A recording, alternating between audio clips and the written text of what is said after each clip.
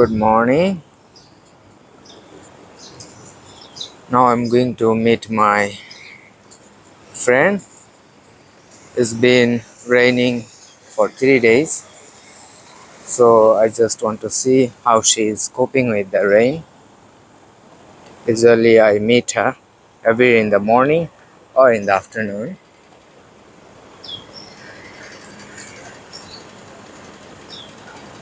There she is Uh, hello good morning.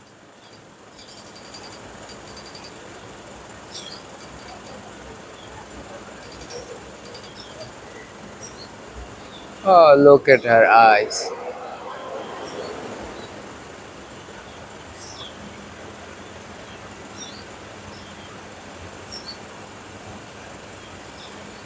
So actually this is a green dove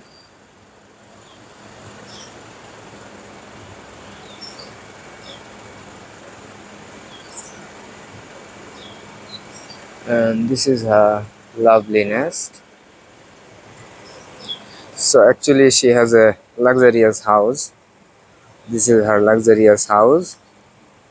And then this is by the pool as well